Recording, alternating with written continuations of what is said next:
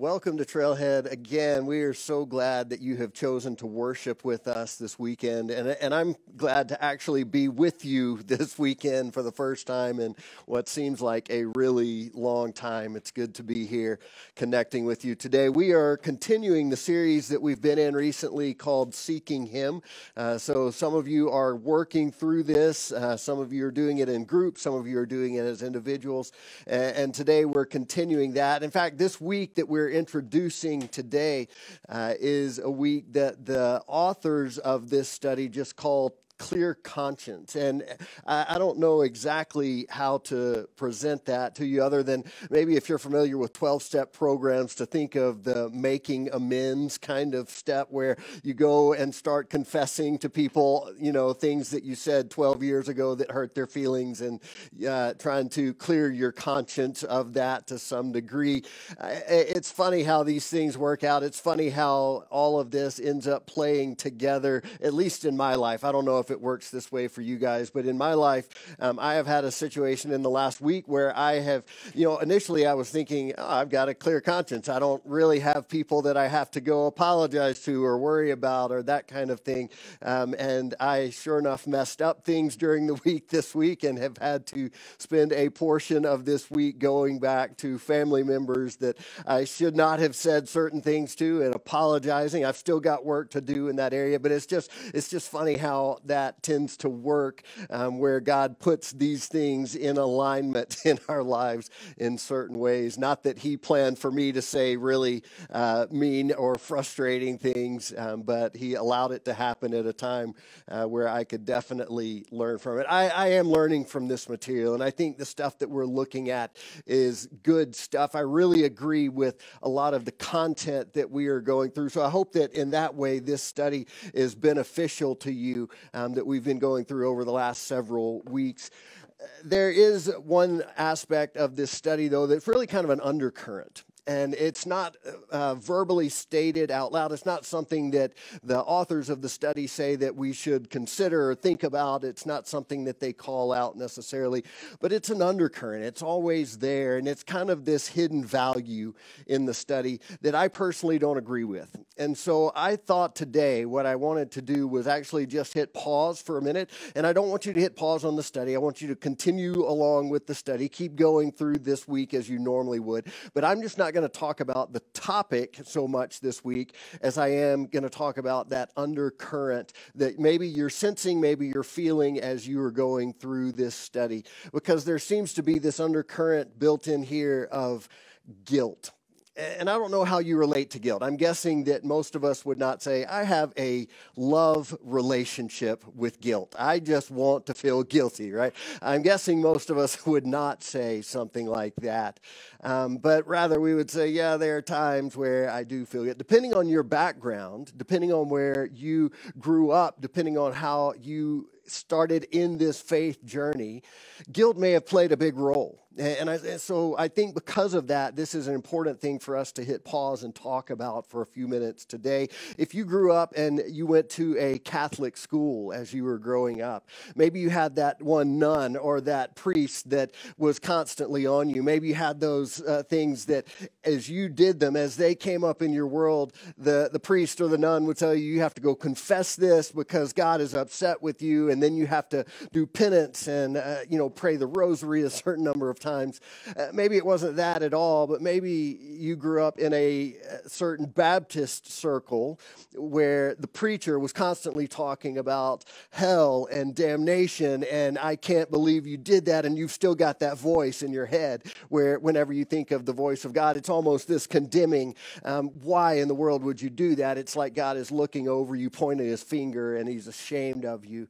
Uh, maybe you didn't grow up in a Christian circle at all, uh, but maybe in your family, the way that it worked was when you came home and you had gotten a B on a test in school, you looked up and you thought, I don't know if I even want to go home, right? Because you knew the way that your parents may respond. You knew that a B was never good enough. And so you would have this sense of guilt um, as you were walking home with a B on a test. Maybe it was a thing where you got home and you knew that your dad was going to say, You are never going to amount to anything if you keep getting grades like this in school. And so you never loved learning so much, but you always got straight A's because it was a guilt guilt thing that was forced on you by your parents. And, and then you connect to a church and you start hearing about this God who is your father.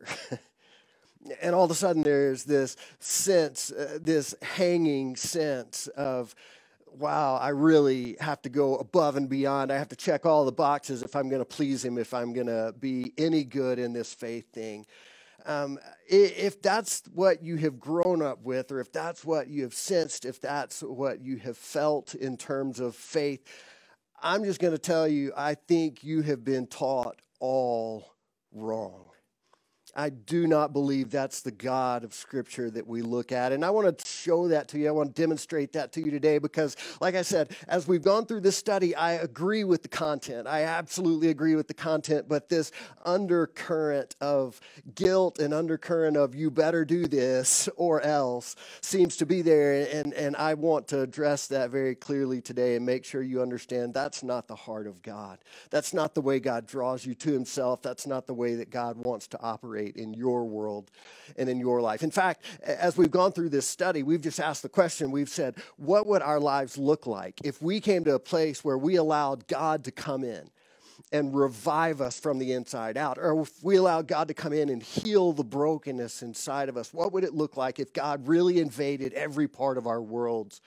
And for some of us, like me, that question is exciting. And th- we, we think, man, I, I want that. I want to be a part of that. But if you grew up with that sense of God hanging over you, pointing his finger at you, and calling you names because of what you've done wrong, then you may hear that question and think, uh, I don't know if I really want that.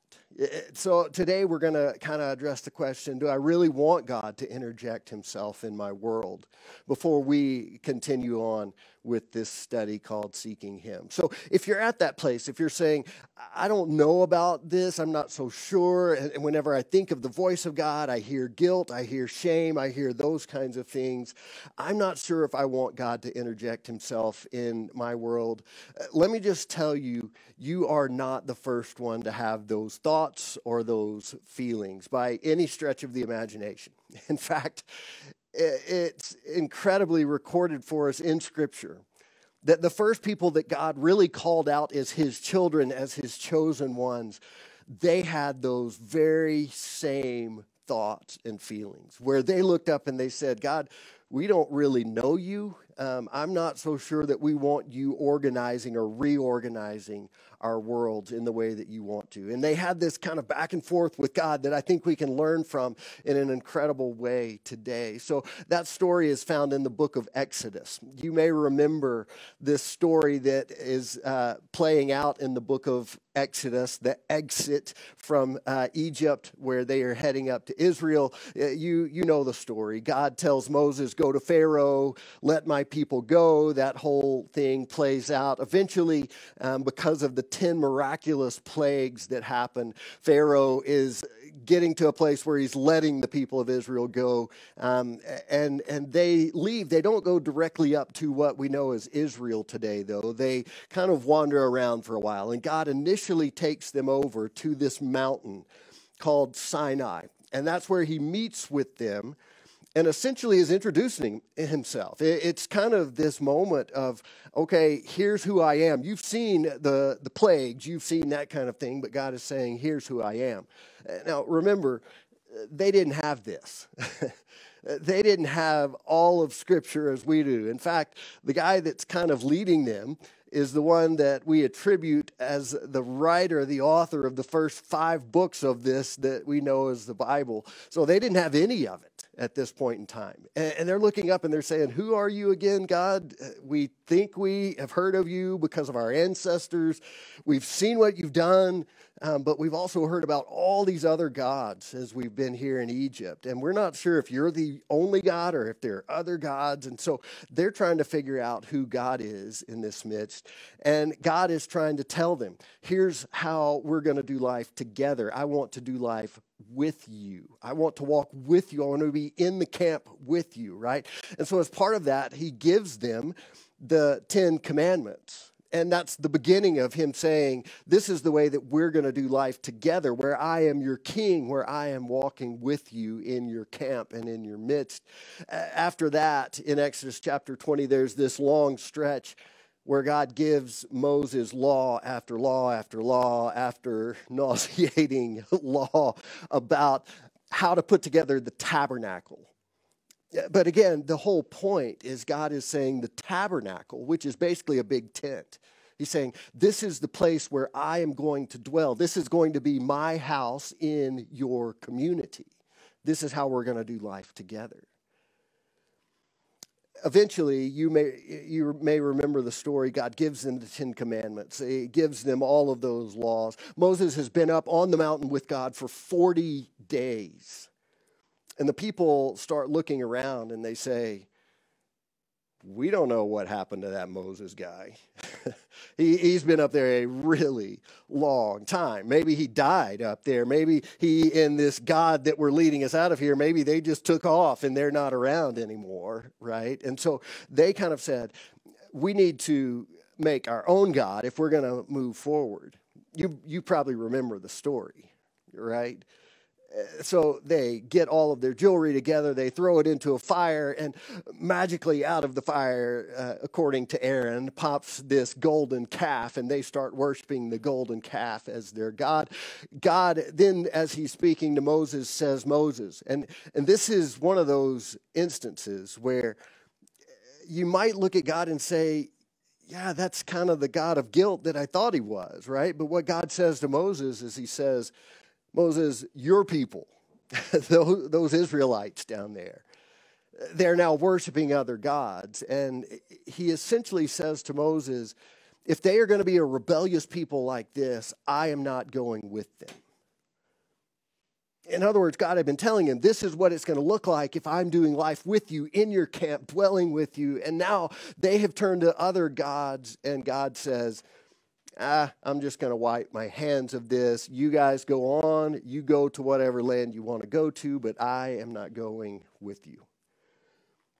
And it's one of those moments like, what kind of God does that?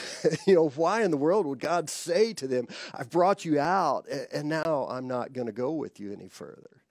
But do you know what is actually happening here? I have a feeling it's probably happened to you at different times. What's happening is God is saying to these people, He's saying, Do you really want me to go with you? This is a test. This is not God saying, I'm done with you. This is God saying, Okay, I've gotten you out of slavery. Do you really want me to be your God? Do you really want me to continue walking with you? Do you really want me to keep going here? And that's where we're going to dive into the story together in Exodus chapter 33, um, because the, this is that point where the people are asking, now, who is this God again, and can we trust him?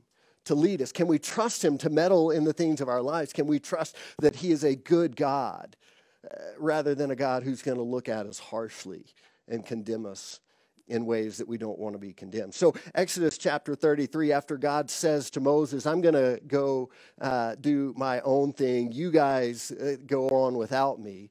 Moses responds and he says this. It says in verse 15, Then Moses said, If you don't personally go with us, don't make us leave this place. Verse 16, he says this. Um, after he says, uh, you know, don't go, don't make us go without you, he says, How will anyone know that you look favorably on me, on me and your people if you don't go with us? For your presence among us sets your people and me apart from all other people on the earth. So basically, Moses hears God saying, ah, if you don't want me to go, I'm not going to go. You just go on your own. Moses backs up and he says, Wait, wait, wait, wait, God. we can't go without you. there's no way that we can go and accomplish what we're supposed to accomplish and conquer this nation if you're not leading us in this. And so Moses pleads with God and says, No, no, don't leave us here. If you're going to stay here, let us stay with you, but your presence has to go with us. Eventually, God replies and says this in verse 17 The Lord replied to Moses, I will indeed do what you have asked for I look favorably on you and I know you by name. And so there's some really important things happening here. First of all, God says, okay, you, you passed the test, right? If you really want me with you, I will continue to go with you. And then he says, and Moses, here's the other thing I'm going with you because I know you. I know your heart. I know that you really do want me to be a part of what's going on here. Before we go too far, let me just stop and ask you a question. Do you really want God going with you? Do you really want God setting up camp in your house, in your workplace? God is incredibly humble in that the, the creator of heaven and earth, the God who's sovereign over all things, he also looks at us and he says, I'm not going to force you to do this with me. I'm not going to force my way into this. I'm not going to force you to be in this with me. But if you want to do it with me, I will go with you. And then, like I said, he looks at Moses and says that familiar phrase. He says, I'm doing this in part because I know you. I know your heart, Moses. And, and I think God would look at all of us right now and say the same thing. As we walk through this, he would look at you and he would say, I know you. I, know where you've been. I know the things you've been through. I know the hardships you faced. I know the abuses that you have suffered. I know you. But I think we, if we're honest, a lot of times would probably respond like Moses did. Listen to what Moses says next in verse 18. Says, Moses responded, Then show me your glorious presence. Do you know what he's saying? He's saying, God, you know me. I don't know you. You've told me your name, right? But I, I've never seen you, God. I don't know you. And again, maybe you've stood in Moses' shoes. maybe you've been there and you've said, God, if you would just say something out loud, if you would just do that, then I would know who you really are. God, if you would just show me who you are, if you would just give me a glimpse of your physical presence with me, then I would believe that you're really here. Then I would believe that you're really doing this with us. That's exactly what Moses is saying. He's saying, God, if you say this is going to work the way that you're telling me, I need to see you. I need to see who you really are as the story goes on, we're not going to read all of the verses, but let me just tell you what happens. Basically, God says, Moses, yeah, I'll show you myself, um, but I'm not going to show you my full glory. You, you may remember that part of the story, but it's interesting to me to think about that because think about what Moses is asking for here. Er, now, remember, God is outside of time we are bound by time, but God is outside of time. And so when Moses is saying to God, Show me your glory and show me your, your glory in its fullness, do you know what that would mean? I, I can't imagine the fullness of the glory of God. But what I do know today is that a huge part of what God would be showing Moses is a crucified man, is a man that was killed and came back to life is what the Bible calls uh, the lamb who was slain for the world. If God shows those images to Moses, what does Moses do with that? Uh, there's no explanation. There's no understanding of who Jesus is. There's just this man who looks horrific in some ways because he has been killed, he has been murdered and Moses has no way to process that, much less the rest of the world around him having a way to process that. And God just says to Moses, You're not ready. There's no way for you to comprehend the fullness of my glory right now. And, and I would just remind you as you cry out to God and say, God, if you would just do this, if you would just speak out loud, if you would just show me your presence. I, I fully imagine that God looks at us in the same way that he looked at Moses, and he loved Moses, but he says, You're not ready for that. You have no earthly idea what you're asking for. And so God says, I'm not going to show you the fullness of my glory, but He says this He says, What I want you to do is I want you to chisel out two new tablets. Remember, Moses got all upset. He, he smashed the tablets that had uh, the Ten Commandments on them. And God says, Okay, we're going to replace those. I want you to chisel out two new tablets. Come up on the mountain again by yourself, not with anyone else. And he says, I'm going to put you in essentially a cave in the mountain. I'm going to cover you with my hand. And as I pass by, you're not going to see the fullness of me. You will see my back as I pass by. And scholars, theologians have debated for centuries what that means. I cannot tell you exactly what that means. But basically, what God is saying in this moment is He's saying, I'm not going to show you my fullness, but I am going to tell you who I really am. I'm going to explain my name to you. And so that's what happens. If we jump on uh, ahead to Exodus chapter 34, verse 4, we pick up the story there. It says So Moses chiseled out two tablets of stone like the first ones. Early in the morning, he climbed Mount Sinai as the Lord had commanded him, and he carried the two stone tablets in his hands. So Moses just starts doing what God asked him to do. He starts chiseling out the tablets. He goes up on the mountain. God puts him in the cleft of the rock and covers him with his hand. And verse 5 says, Then the Lord came down in a cloud, and stood there with him, and he called out his own name, Yahweh. The Lord passed in front of Moses, calling out, Yahweh, the Lord, the God of compassion and mercy.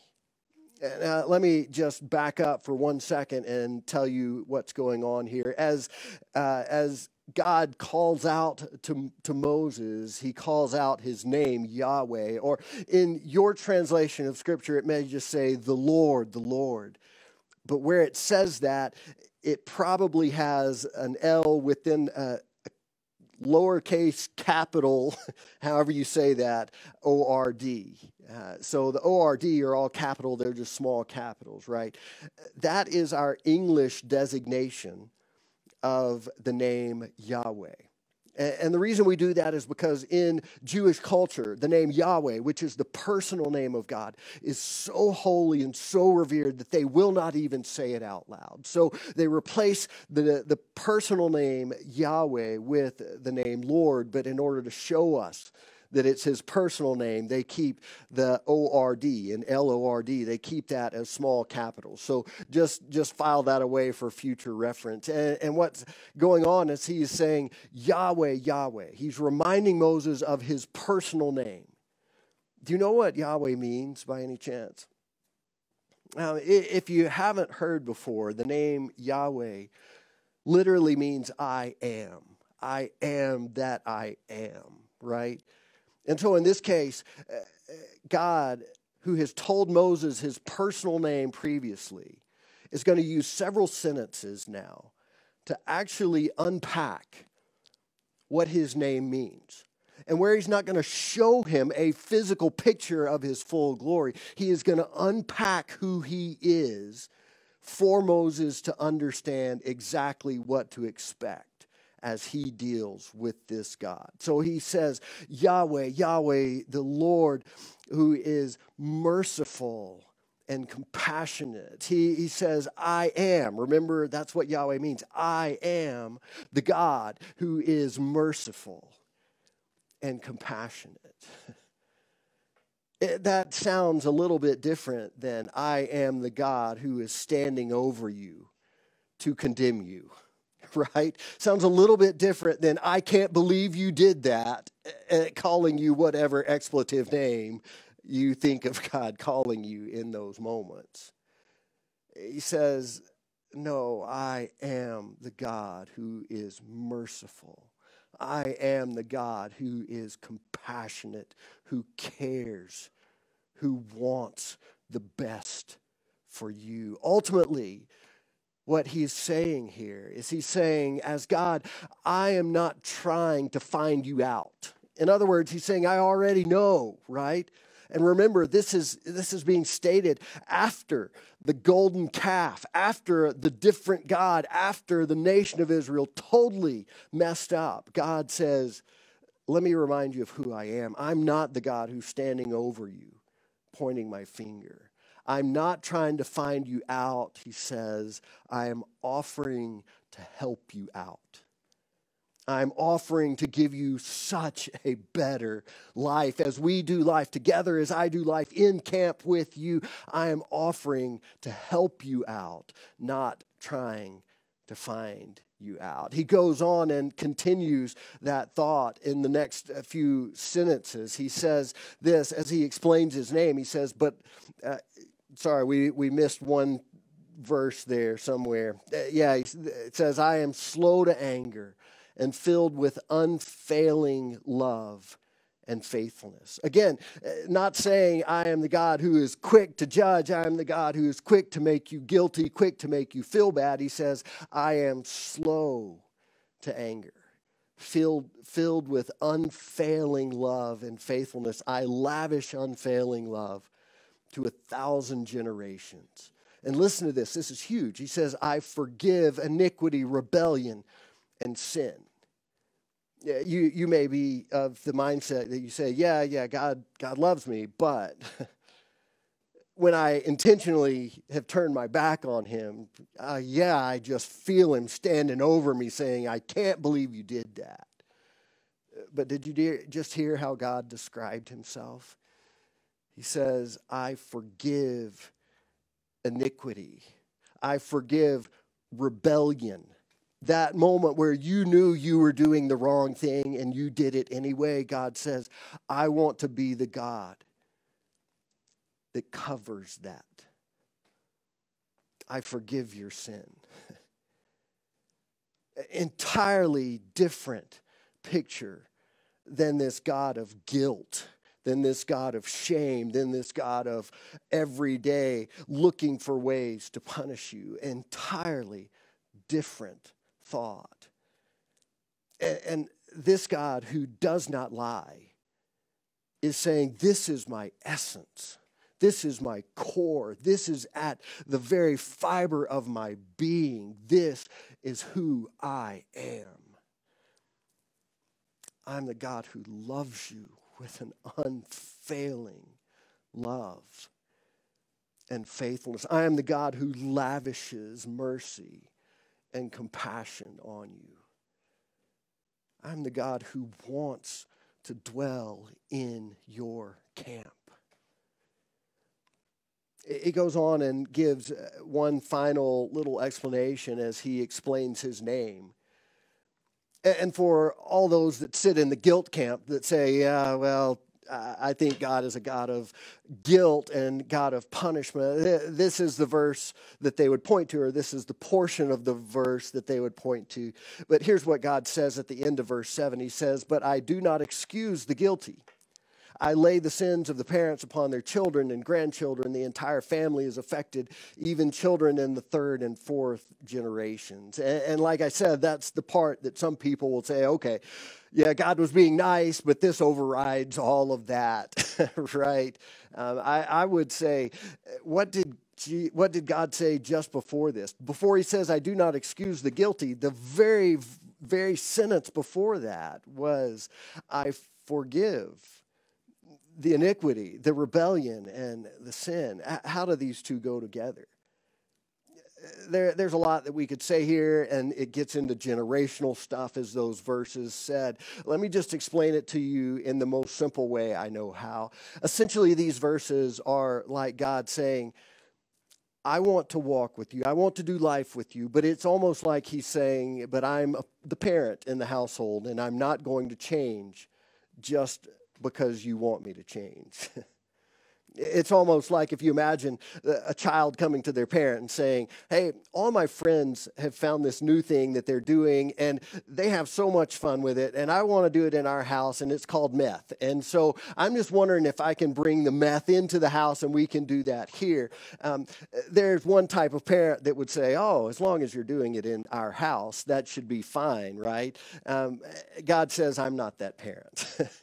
he says, I'm the parent that's going to say, no, I want the best for you.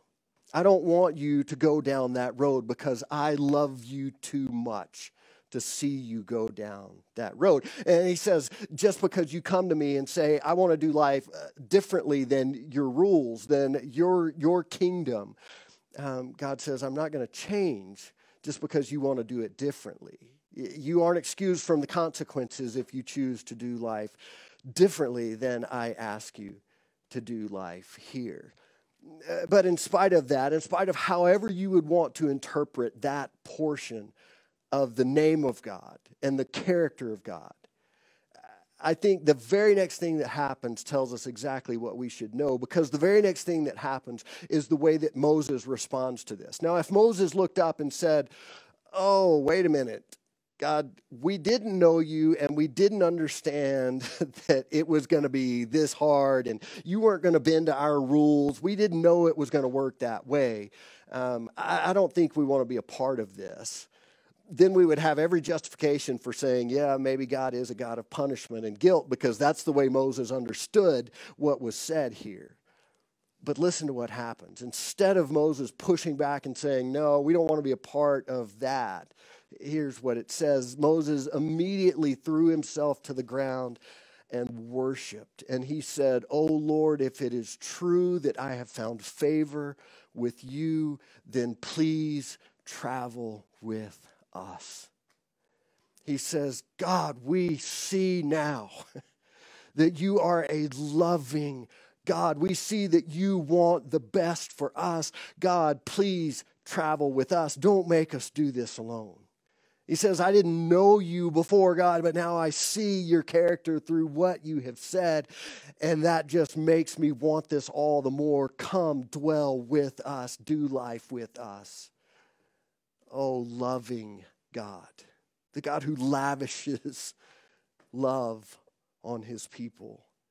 Moses goes on and says in verse at the end of verse 9 he says yes this is a stubborn and rebellious people but please forgive our iniquity and our sins. Claim us as your own special possession. In other words, he says, We see your goodness and we want to be a part of it. We need to be a part of it. Uh, listen guys this is this is ultimately what we're getting to here. As we look through this passage where god says this is who i am. By the way this passage this description of who god is is quoted eight more times in the old testament as just a reminder of the fact that our god is not a god who's standing over us looking to punish us. He is a god who is standing over us, wanting to lavish his love on us. And I believe what this is saying, what all of this is pointing to, is it's pointing to one very clear fact guilt is not God's goal. I don't care who taught you that. I don't care what institution or person put that in your head. Guilt is not God's goal. Unfailing love and faithfulness are at the heart of who He is and as we walk through this study, as you go through this study over the next week, I don't know how you're going to process this because it may hit you in the way that it hit me, where it feels like there's just this huge undercurrent of guilt. And man, if I don't check the boxes, if I don't do the right things, God is not going to like me. He's got, not going to be pleased with me. And I think God comes to us just as He came to the people of Israel and says, I want you to know who I am. And I don't want you to feel like you're being driven just out of guilt. I want you to be wrapped in my arms. I want you to be gripped by my incredible, unfailing love and faithfulness toward you. So this week, as you go through this study, this week, as you process the, the idea of having a clear conscience. I hope that you really will get to a place of having a clear conscience, but I hope it's not a thing that is driven by a God who is standing over you saying you need to check the box. Instead, I think God says, I know where you've been. I know what's happened. I know the things that you have been through, the things that you have stepped into. And I still want to be with you. I still want to be your God. I still want to pour out my lavish love and faithfulness into your world. Guilt is not God's goal. As you listen for his voice this week, this is my challenge to you.